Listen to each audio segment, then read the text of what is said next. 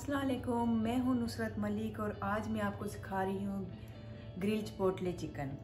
तो चलिए स्टार्ट करते हैं। इसके लिए सबसे पहले आपको चाहिए चिकन। ये मैंने तीन पाउंड चिकन ब्रेस्ट ली है, जिसको मैंने वॉश करके ड्राई कर लिया और इस तरह के पीस, पीसीस में काट लिए आप चाहें तो आप चिकन थाई भी इस्तेमाल कर सकते हैं। सबसे पहले आप एक बॉल लीजिए। Four tablespoon olive oil. इसमें आप थोड़ा सा लेमन जेस्ट शामिल कर दीजिए इस तरीके से।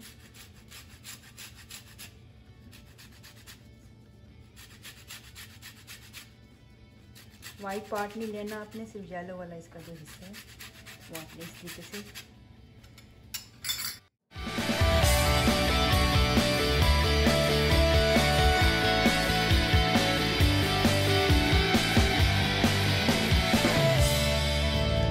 पार्ट मैंने इसका ले लिया और इसके बाद आपको चाहिए फ्रेश आपको लेमन चाहिए, दो दिन मैंने लिए।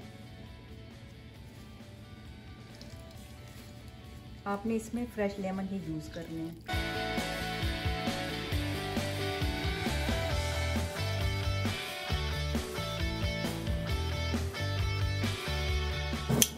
आप एक फोर्क लें और इनको अच्छे तरीके से मिक्स कर लें आपस में। ये बहुत झटपट बनने वाली बहुत आसान सी रेसिपी है और बिल्कुल डिफरेंट है। इसमें मसाले भी सारे जो भी आप यूज़ करेंगे, वो अपने फ्रेश ही यूज़ करने कोई आपने बाटल का या पहले से कोई इस तरह के लेके नहीं रखना। One tablespoon garlic paste ले लीजिए। इसी तरह एक वन टेबल स्पून आप कटा हुआ गार्लिक भी ले लीजिए फ्रेश इसके बाद आपको चाहिए बेज़ल जिसको उर्दू में तुलसी भी कहते हैं और न्याज न्याज बो भी। ये आपने लेने दो तीन चम्मच टेबल स्पून इसको साथ साथ मिक्स भी करते जाएँ चीज़ों को। हाफ़ बंच आपको चाहिए सिलांट्रो और मिक्स कर लीजिए। One and half teaspoon आपको चाहिए सॉल्ट यानी कि नमक। इसके अलावा आपको चाहिए चिपोटले पेपर्स ये मैंने लिया था इसका एक कैन है इस तरह का मिलता है यहाँ से। मिर्चें मैं आपको दिखा देती हूँ। इनको उर्दू में शायद तहार मिर्चें या तोरहा मिर्चें भी कहते हैं। ये इस तरह की शेप का होता है। मैंने एक कैन लिया और इसको मैंने ग्राइंड कर लिया है। तो ये भी मैं इसमें शामिल कर रही हूँ। पहले मैं थोड़ा शामिल करूँगी। ये तकरीबन टू टेबल स्पून इसमें जाएगा, फिर मैं बाद में टेस्ट कर लूँगी तो। आप अपनी मर्ज़ी से मसाला एकदम से ज़्यादा नहीं डालना। जितना ज़रूरत हो थोड़ा थोड़ा करके टेस्ट चिकन के मुताबिक कर सकते हैं। ये तीन पाउंड मेरे पास चिकन है। तो इस तरीके से आप इसको अच्छे तरीके से मिक्स कर लीजिए। और इसी मौके पे आप ट्राई भी कर सकते हैं इसके स्पाइसेस भी। अगर कुछ कमी बेशी हो तो आप खुद अपने टेस्ट के मुताबिक इसको कर सकते हैं। हाफ़ टी स्पून इसमें नमक, यानी कि साल्ट डाल दिया था और हाफ़ टी स्पून ही मैंने इसमें चपोटे पेपर भी डाल दिया अगर आपको ये चपोटले पेपर ना मिले, आप, जहाँ पे आप लोग रहते हैं तो उसके लिए आप ये करें कि रेड ड्राई चिली जो होती हैं, सुर रंग की, ये आप लीजिए। ये मैंने एट टू फिफ्टीन पीस लिए हैं मैंने। इसमें आप वाइट विनेगर डाल दीजिएगा। ये वन टीस्पून मैंने लिया था यानी कि सफ़ेद सिर का, और साथ ही आपने इसमें हाफ़ कप आपने बॉयल वाटर लेना है। इस तरह रख के कवर करके आप एक दिन के लिए रख दीजिए।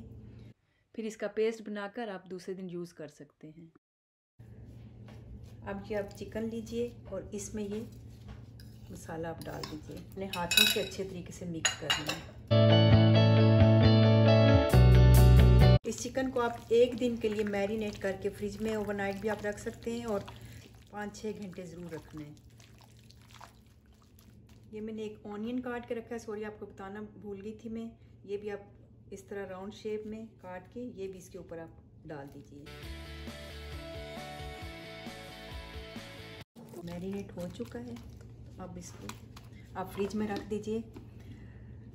फाइव टू सिक्स आवर और ओवरनाइट को मैरिनेट हुए हुए छः घंटे गुजर चुके हैं। छः घंटे में इसका बहुत अच्छे तरीके से जज्ब हो गया। इसको दोबारा से एक दफ़ा हिला लें। अब इसको ग्रिल होने के लिए रख दीजिए।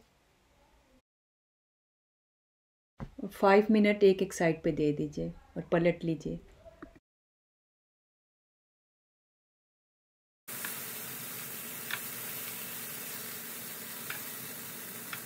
चिकन के लिए आपको एक सॉस भी चाहिए होगी, जिसके लिए मैंने लिया है सलांट्रो यानी कि हरा धनिया बेज़ल यानी कि तुलसी, और थोड़ा सा मैंने मिंट यानी पुदीना भी लिया है मैंने।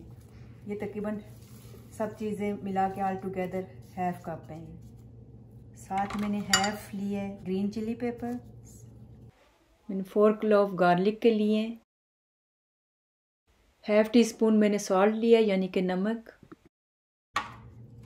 और टू टीस्पून मैंने है ऑलिव ऑयल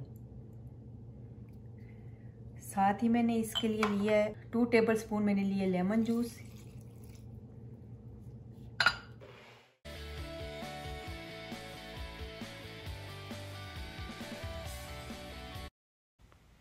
ये है इसकी फ़ाइनल लुक इसको आप सर्व कर सकते हैं एविकाडो के साथ और मैंने जो ग्रीन सॉस बनाना सिखाई थी चटनी, उसके साथ आप इसको या किसी भी सब्ज़ी के, अपनी फेवरेट सब्ज़ी के साथ सर्व कर सकते हैं।